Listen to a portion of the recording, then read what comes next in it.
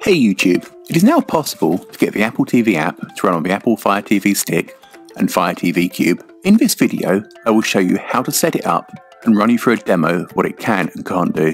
I am running the demo on a second generation Fire TV Cube. I'm also using the new Echo Studio as a speaker. I have left links in the description below if you want to buy one for yourself. The first thing you will need to do is find and install the Fire TV app. You can ask the assistant to find the app, but I found that it doesn't always bring it up. So the best thing to do is search for the Apple TV app. Once you have found it, just click on it to install. Once the app is installed, you just need to select the Apple TV app to open it.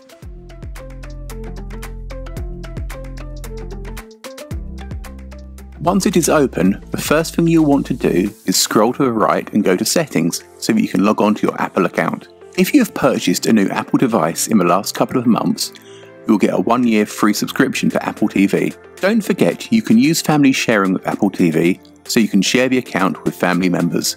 Once you have logged into your account, you are ready to go.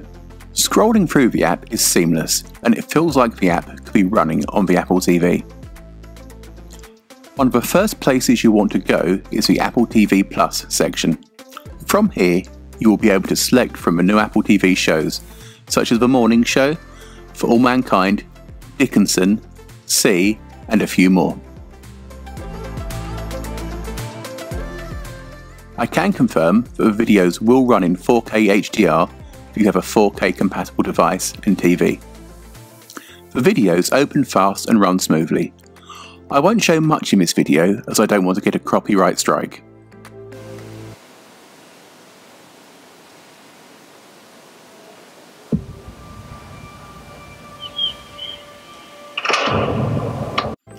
If you search for videos, you will find that you can play any videos that you have purchased for Apple.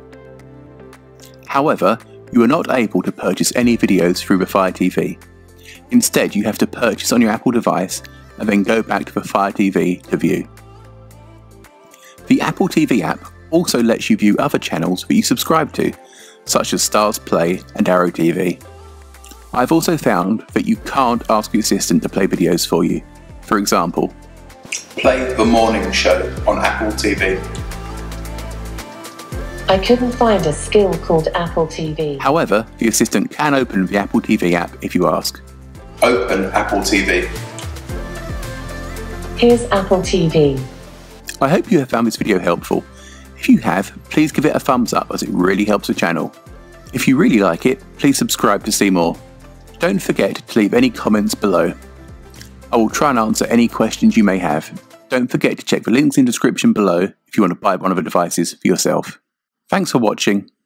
Bye.